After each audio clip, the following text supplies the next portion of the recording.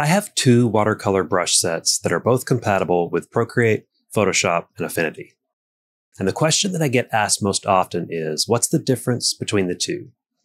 First up, they don't contain the same brushes and are completely different sets from one another. The master watercolor brush set was created first and then developed over the span of several years as I used it in my own work and continued to refine it and add to it as I went. It's a very extensive pack with over 200 elements. I like to think of this one as a complete watercolor studio as it contains a large amount of brushes, plus effects like washes and splatters, and resources like textures, swatches, and tutorials. The Ultimate Brush Toolbox watercolor was created as part of the much larger Ultimate Brush Toolbox collection. This collection is a huge set encompassing all types of media like oil, charcoal, gouache, watercolor, among others. This collection can be purchased as a whole or in individual media packs. The watercolor set contains 34 brushes of various types. I consider this pack to be more of an essential set. It contains everything you need to paint watercolor, but doesn't include as many variations among brush types or the extra resources that the master watercolor set does. For example, the Ultimate Brush Toolbox watercolor might contain one or two of a certain brush type, whereas the master set might contain eight or more. You can think of them in this real life example. The Ultimate Brush Toolbox watercolor set might be compared to this small set of essential tools for painting. This is everything you need to create an incredible watercolor painting, and it's all part of your overall art studio of various media tools. The Master Watercolor set is a much larger selection of tools and resources pertaining to watercolor. It's going to give you everything you need once again, but with the added bonus of greater selection among brush types and various resources. So which one do you choose?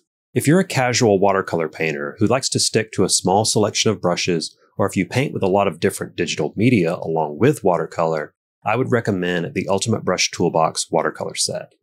Or maybe grabbing the entire Ultimate Brush Toolbox collection.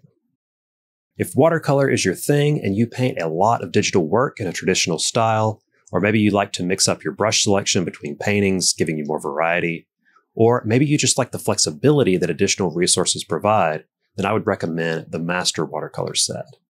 This set is available in individual platforms or the Ultimate Edition, which includes all platforms plus a video tutorial. Now, what about additional products pertaining to watercolor?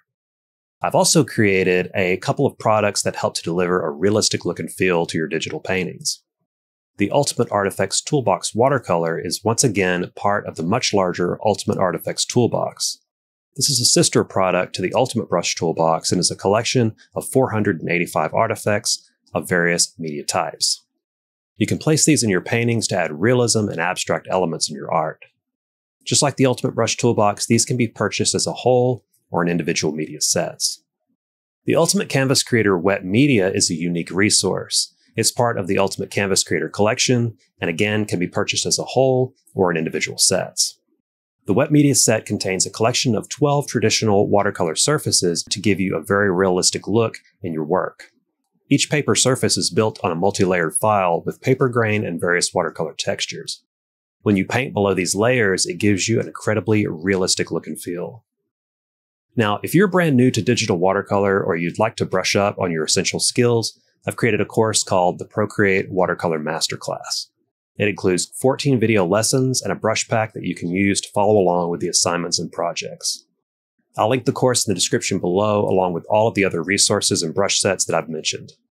I hope this guide helps you to understand the differences between my digital watercolor products. Now, if you still have questions at all, feel free to reach out to me in the comments or via email. I'm always around and I'm always happy to help.